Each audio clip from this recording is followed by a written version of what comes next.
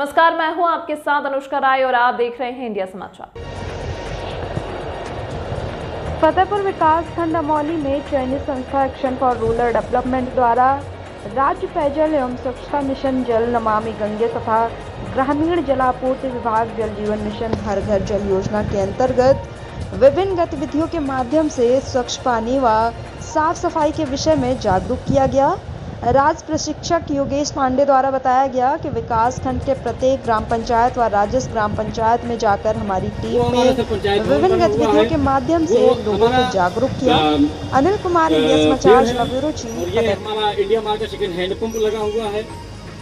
ये India mart का second hand pump है। ये हमारा तालाब बना हुआ है। अब देख रहे हैं कि सर की जगह जगह छोटा छोटा ये गिरवे रंग का रंग पड़ा हुआ है। पूछते हैं लोगों से कि ये है क्या?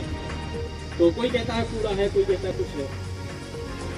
तो ये एक जाइए हमारे पानी में क्लोराइड की मात्रा ज़ीरो पॉइंट ज़ीरो मिलीग्राम से लेकर के ज़ीरो पॉइंट फाइव मिलीग्राम तक पूर्ण रूप से सुरक्षित होता है। वन मिलीग्राम ये हम स्वच्छता मेला कार्यक्रम लगाते हैं।